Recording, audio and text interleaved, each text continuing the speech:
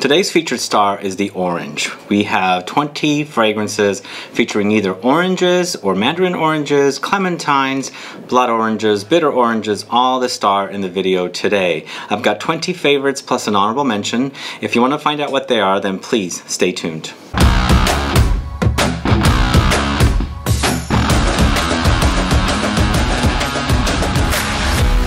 Thanks so much for tuning in. This is Sebastian with Smelling Great Fragrance Reviews. Let's get right to this list, but before we start with the list and the honorable mention, I want to mention that these fragrances are all featuring this orange note. It could be the orange, the blood orange, bitter orange, mandarin orange, clementines, you name it, all very similar. And a lot of them are fresh, and some do go gourmand, so I wanted to feature all kinds of varieties so that if you're looking for orange fragrances, you can come to this list and find out what they are. So the honorable mention goes to a discontinued fragrance. Unfortunately, that's why it's honorable mention. This is Amen Ultra Zest from Mugler. This is probably one of my favorite ever flankers that uh, Mugler ever put out. It's quite phenomenal uh, as far as uh, the fragrance goes. It's the blood oranges, tangerine, patchouli, vanilla coffee, tonka beans, uh, ginger, all connected with that Mugler DNA. Very, very delicious. It had to it and you can also still wear it in warm weather so it was pretty amazing. I just hope Mugler brings this one back because it was that great. It was a limited edition but if you missed out on it uh, please see if you can find some um, bottles that people are selling uh, and I'm hoping that Mugler will bring it back. So this is Mugler Amen Ultra Zest. I'm hoping that they will bring this one back as I said. Next we're going to the House of Gallivant and this is Brooklyn. Now this one happens to be my second favorite along with Tokyo from the House of Gallivant and this one is a really beautiful resinous orange fragrance. So you've got oranges and you have a vanillic benzoin note in here as well. Then there are other citruses like lemons and bergamot and then of course you have a beautiful white flower flower of magnolia in here. And throw, throw it in with like musk and orris. It's a pretty amazing fragrance. It's kind of one of those orange fragrances that has depth rather than being a freshie. So if you like oranges and fragrances, but you want that deep, rich depth with it rather than just going full on citrus, check out Gallivant's of Brooklyn. Next is probably one of the most popular orange fragrances and I have like minimal amounts of drops left in this bottle because I've had this for years. I had it since 2013. This is Orange Sanguine from Atelier Cologne. I've got two fragrances from this house on this list. I know they have lots of citruses, but I had to feature this one in because this is a very, very popular one. Now this one's all about blood oranges. You also got bitter oranges, you've got geranium, you've got a floral note of jasmine, sandalwood. To me, it's more like an in-your-face orange, nothing but oranges, along with like elements of the other notes I mentioned because it's mostly about the blood oranges. And to me, it smells like um, orange juice. It's really, really juicy and uh, cheerful, very, very happy because I find oranges to be a very, very happy note in fragrances. So if you like straightforward orange fragrance, in this case blood oranges, then check out uh, Atelier Cologne's Orange Sanguine. I think it's very, very popular. Now, as far as longevity goes with that one, I'm not sure uh, too much about how great it performs because it's not one of the best performing fragrances. But again, it's just all about citruses, so you have to uh, kind of, uh, it, goes with the territory. Citruses tend to not last too long. Then this next one is from the House of Imaginary Authors. This is Sundrunk. Now this is a very happy fragrance again. In fact, a lot of these orange fragrances are going to be ultra happy. And this one's all about oranges, rhubarb, neroli, hibiscus, honeysuckle rose. It's very, very happy. It is an orange. Of course, it's got that kind of like a soft, gelatinous-like note of rhubarb. Uh, to me, rhubarb is almost like the fruit of pear. It doesn't really move much in fragrances, but it adds a depth here to the oranges because it does have that kind of gelatinous-like quality, and then mixed with the oranges and of course the rhubarb, uh, and then not the rhubarb, but the neroli and hibiscus and honeysuckle, of course the rose. It makes for one great fragrance. It's very, very happy. A perfect summer scent. Sundrunk is awesome. Check it out from Imaginary Authors. Next we're going to Hermes, Hermes, and this is Eau de Mandarin Ambre. So this time we're focusing on the mandarin oranges. And this is from their cologne collection. And this is, smells like mandarin oranges. It smells so true to mandarin oranges, but in the background you've got the amber because it's called mandarin ombre. And uh, then there's also passion fruit in the background, really, really far in the background, you can pick up like elements of that passion fruit note, which if you've ever smelled passion fruit, it smells kind of fruity floral and you get that in here. But to me, this is more about the mandarin oranges with uh, a very, very um, minimal amounts of amber. And that passion fruit, as I said, is very, very uh, minimal. So this is Hermes uh, Eau de Mandarin Ambre. So that's another one for you to try. So this next one is from the House of Perris Monte Carlo, and this is Mandarino di Sicilia, this one right here. Now this one came out last year. They came out with three of the citruses, and of course almost a couple of weeks ago I shot a, actually it hasn't even been a couple of weeks, it's been just a little over a week. Uh, Mandar I shot the, the um, Arancia, Arancia di Sicilia um, video, which is their fourth in the collection of the citruses. But this one I think turns out to be my favorite out of all four, including the, the, when it was first launched, the three. And this one is just really juicy and it's really, really beautiful mandarin oranges. But according to the notes, there's no mandarin oranges listed. You've got oranges, bitter oranges, petitgrain, orange blossom, and musk. Really, really juicy, like ultra juicy. Just quite phenomenal. It's also not one of your very sweet or mandarin oranges. It does go a little on the tart side, so it's a nice balance of sweet and tart, which I really like for a summer freshie. So check out Mandarino de Sicilia from Perris, Monte Carlo. Go into the house of Atelier Cologne once again, and then we have Clementine, California. Here we go with clementines, kind of a sister or related to the mandarin orange, and of course oranges. But here, it's not all about clementines. You've got oranges, you've got juniper berry, you've got cypress basil vetiver is so good. This is such an awesome release. I absolutely love this one and I love drenching myself with this note. It's just really, really uh, beautiful. Very fresh, very refreshing. Um, and it's just, uh, just a thirst quencher. When you're thirsty for uh, when you're thirsty from the heat in the summertime, you want to like kind of like cool off. This is perfect for that. So this is Clementine, California from Atelier Cologne, and I love the name because I'm here in California. Next up, we're going to the House of Profumum Roma. This is Orangea, this one right here. Now this one, um, for the notes listed, it doesn't include oranges. It doesn't include even neroli or orange blossom. The notes say that it has bergamot, petitgrain, mint, cedar. And as I was looking up the notes and I'm like, where the heck are the oranges and the orange blossom? Because that's what I get from this when I smell it. The orange fruit and the orange blossom with a light hint of coconutty touch where I don't know where that's coming from. According to notes, there's no coconut listed or nothing like that. But if you like it orangey and if you like it with orange blossom mixed together, then this one's definitely one for you to try. Again, as I said, it does smell like oranges and orange blossom with a hint of coconut under there. Um, so I don't know where that comes from. Maybe Fragrantica doesn't have correct notes, which uh, uh, most of the time they do not. So, but I couldn't find notes listed on um, um, anywhere else, so I had to look up uh, the notes. And for me, it's all about oranges with um, the flowers. And it is called Orangea after all. Check it out, it's a long-lasting one, recently featured in my Summer Beasts video. Now this next one, we're going to the House of Tauer Perfumes, and this is Orange Star. Now, um, this is a, a, very unique freshie, which is really not a freshie. If you like your orange fragrances to have depth and heft to it, then definitely check out this one from Tauer Perfumes. This one is all about oranges, clementines, ambergris, lemongrass, orange blossom. It's a unique take with that Tauer out, Tauer odd, the Tauer DNA under there. So if you like the Tauer DNA of fragrances like L'air du Desert Marocain and things like that, um, you're gonna like this one, especially if you like the, it combined with oranges.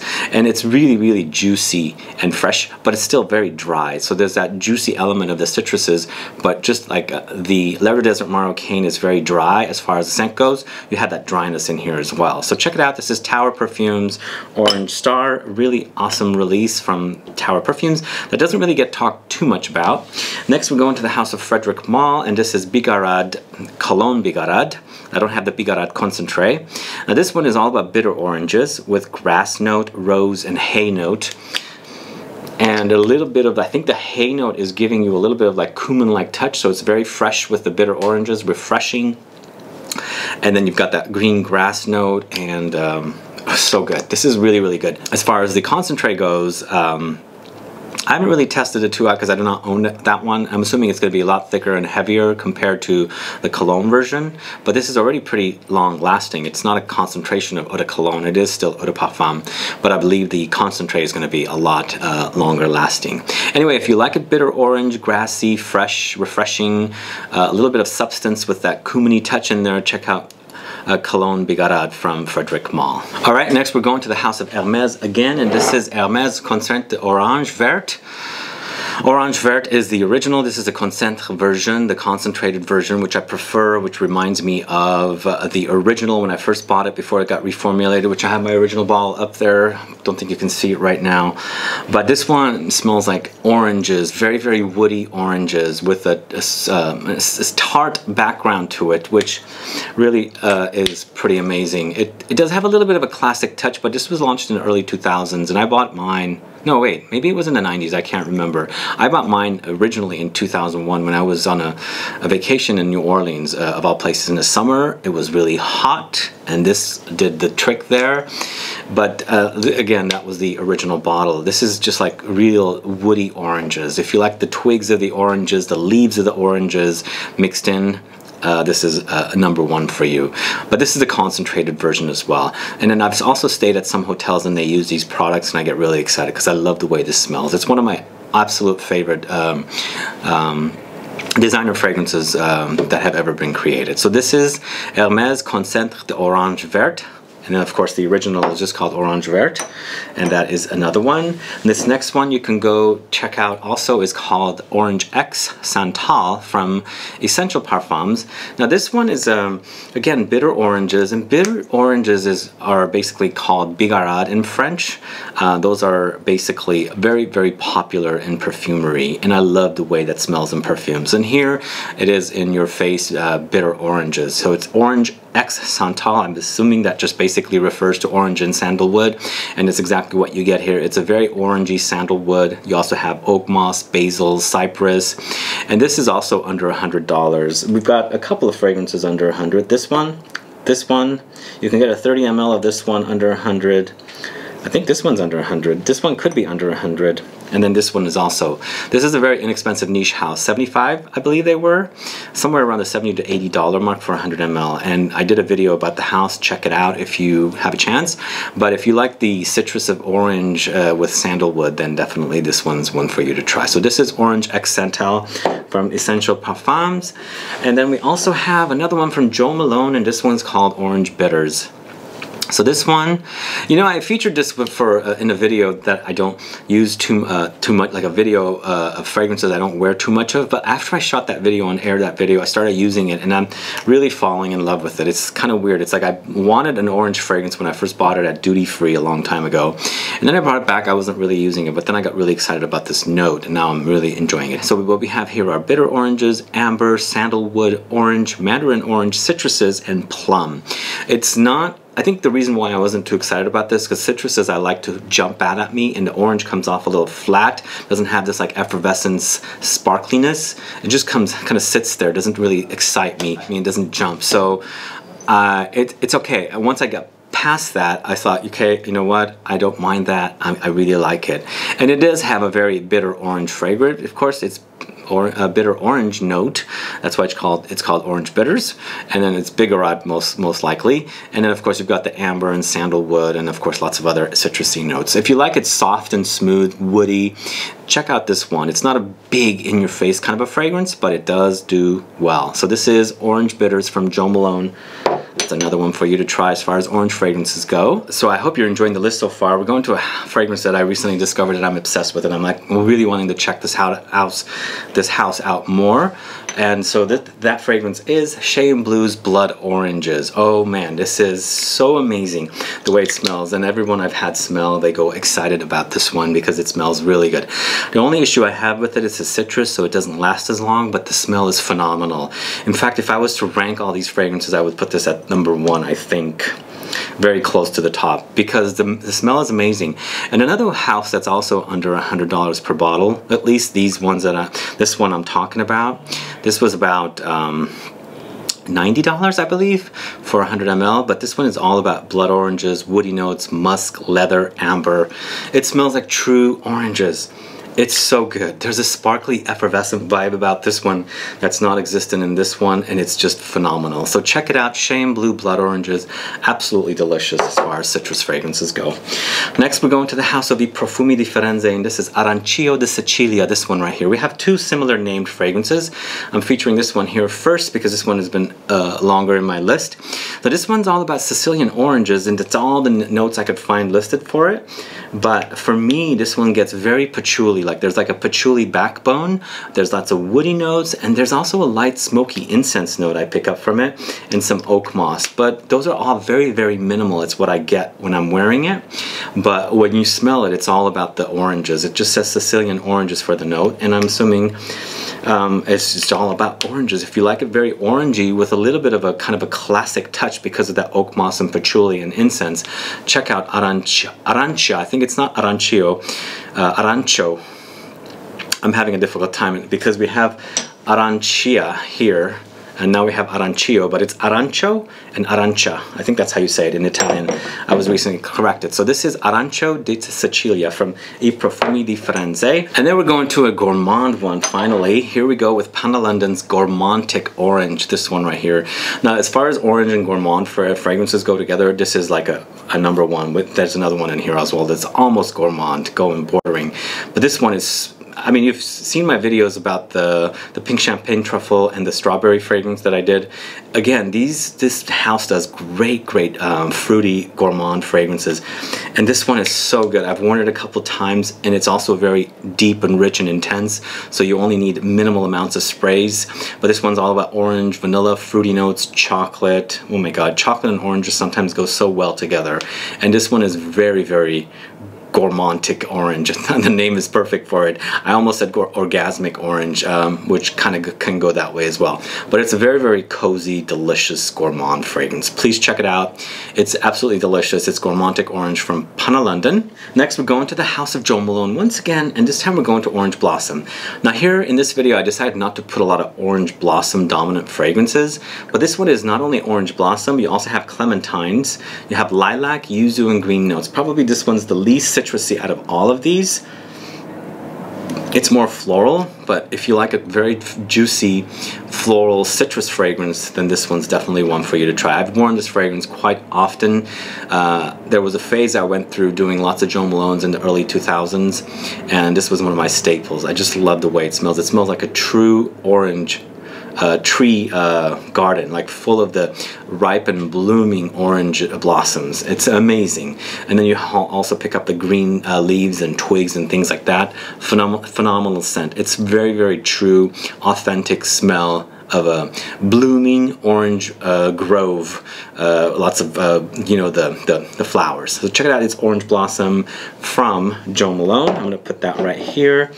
Next, we're going to the house of... Um, Louis Vuitton in its Afternoon Swim. It's funny when these three fragrances came out from Louis Vuitton, Afternoon Swim, uh, Sunsong, and Cactus Garden, I thought my favorites were going to be Sunsong, Cactus Garden, and the least favorite was going to be Afternoon Swim, but it turned out to be Afternoon Swim is my favorite, and Sunsong second, and Cactus Garden third.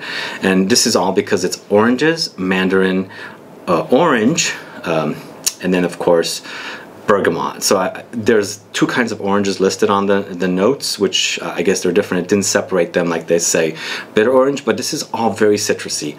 It is such a pleasant experience. It's also got one of the most amazing names, I think, Afternoon Swim. It kind of reminds me of to dipping into a cool, refreshing pool when it's really, really warm outside because this is, after all, inspired by California, the three new fragrances from Louis Vuitton. And of course, uh, that's exactly what you get when you wear Afternoon Swim. It's very refreshing uh, citrus fragrance. It's just really, really awesome. Check it out. It's Afternoon Swim from uh, Louis Vuitton. Next, we're going to Almost Gourmand again. Well, I think you can call this Gourmand. This is L'Artisan Parfumeur Mandarina Corsica, this one right here. Now this one starts off with a, a very a gourmand note of caramel. You got lots of oranges, lots of oranges because it's very orange, orangey, and it's mandarin oranges according to uh, the name, and you do smell mandarin oranges. And you also have bitter orange listed, tonka beans, and lots of other notes. So you spray it on, you smell caramel, but immediately it becomes mandarin oranges, and then the caramel develops with tonka beans. It's just a really, really awesome fragrance. Late discovery for me, but amazing. If you like a gourmand and orangey, again, this one's definitely one for you you to try. This is Mandarina Corsica from L'Artisan Parfumeur. Next, we're going to the House of Perris Monte Carlo. This is the second fragrance, similarly named like this. This is Arancio de Sicilia. This is Arancia di Sicilia. Those of you that are Italians, can you please clarify what the difference would be? But this one I just shot a video of. You should watch my review because this one contains oranges, citruses, musk, and there's coffee, almonds, uh, gourmand notes thrown in. So this one is not one of those citruses that jumps out like this one. It's kind of a, a quieter citrus, whereas this one has a more projection because it's fresh and citrus, uh, citrusy. So if you like it more cozy, comforting, gourmandy, then this one definitely is one for you to try. Definitely check out my review. We were doing a giveaway of this as well via Safrabon. Um, I don't know if you've caught that giveaway and review yet or not, but I believe the giveaway is closed because it was a full bottle and it was a um, Canada, USA, and of course EU, I believe, giveaway. So anyway, if you don't know this one, check it out, and especially if you like oranges. This one is actually blood oranges rather than oranges, so it's, it's actually really, really delicious. So that is Arancia de Sicilia. And then last but not least, we're ending with Penhaligon's, and this is Orange Blossoms. Here we go with Orange Blossom again, similar to this, but this one's completely different. This one's created by Bertrand Duchaufour. Please watch my video with this uh, about this fragrance with um, Castille, also from Penhaligon's, but this one's all about Orange Blossom. Then you have oranges, lots of oranges, so you got both of those dominant notes, and then you also have thrown in some tuberose, bergamot, and violet. Now this one is a bit on the powdery side. Um, but smells like powdered oranges if that makes sense. So if you like that idea definitely check it out. And also the orange blossom is pretty prominent compared to the oranges. Even though they're kind of equally balanced I find the orange blossom a little more prominent than the actual orange note. But then the orange is there. It's right there for you. So this is quite awesome. Check it out, Orange Blossom from Penhaligon's. And that does it with my list, guys. What are your thoughts about these fragrances? Do you like the note of orange in fragrances or do you hate that note? Uh, please do let me know. I'd like to find out. I do love oranges. Still, my favorite is lemons because I find oranges not to project much. They're more flatter, calmer, doesn't excite me as much, but there are some fragrances out there like these that really do excite me. If there are fragrances that I missed, please do let me know. Put a comment down so I find out what they are so I can check them out to feature or review in the future. Otherwise, if you have any questions or comments, please list below. Please like this video, please share it. Follow me on Facebook, Twitter, and Instagram, and I'll be back with more videos very soon. Have a good one. Goodbye.